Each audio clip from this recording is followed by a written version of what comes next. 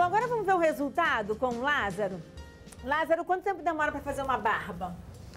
Uma barba, a dele estava pronta porque estava crescida, estava meio caminho, vamos dizer. Mas hoje para fazer Mas uma normal, barba... uma barba é 25 minutos, eu chego a demorar até 30 às vezes, caprichando bastante. Você estava me falando, por exemplo, agora já está pronta a barba do Dani, que ela é um pouco falhada. Você falou que ela também pode ficar assim, porque eu pensei que você fazendo esse contorno, esse design, vai encher, vai ficar assim igual a sua. Não.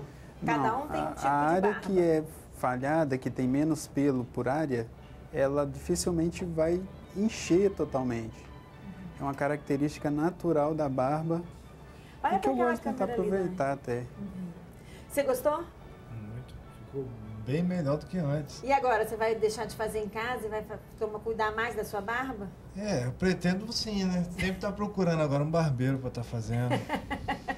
Em É, casa fica complicado, fica É, a muito não- estranho. Que, aliás, eu sabia que o Lázaro faz a barba dele, né? É, cara é- Domina, né? é outra coisa, né? Lázaro, obrigada, tá? Agradeço, Parabéns pelo seu trabalho também. Obrigado. E eu acho que isso é fundamental quando a gente tem prazer. Bom, as- a- aqui o Márcio está pronto, né? Tá É pronto, isso? a gente só está finalizando agora com um creme, um gelzinho calmante, né, à base de camomila, extratos naturais, para acalmar essa pele, para cicatrizar mais rápido e tá pronto. Aí só as recomendações agora do pós-depilatório. Né, um banho quente evitar hoje, sabonete, se for à praia amanhã, nos próximos dias, protetor solar, apesar que a gente tem que estar usando sempre, né? E normal, né? De preferência a gente também pede para os nossos clientes evitarem a malhação hoje por causa do suor, que contém sal, que não é interessante, né? Pode causar irritação. Mas de- depois tem a vida normal. Normal, E aí, normalmente. satisfeita, né, Márcio? Satisfeito, com certeza. Obrigada, tá? Por ter vindo. Agora, Merilane, hoje, além dessas, des- desses profissionais voltados, o mercado também está voltado, né? Com produtos específicos, específicos para os homens? Sim, é, homens não toleram nada que seja oleoso. Na verdade, o brasileiro não tolera nada oleoso, mas homens em especial.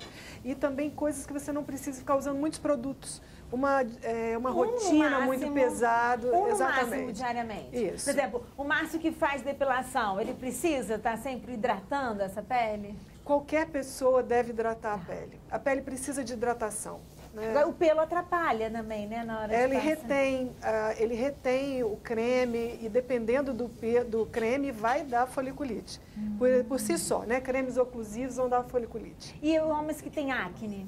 Olha, Thaís, o acne para o homem é, é uma coisa muito séria, porque o acne tem relação com a testosterona, que é o hormônio carro-chefe do homem. Então, quem tem acne pior, geralmente são os homens. E pode começar muito cedo, com 11, 12 anos.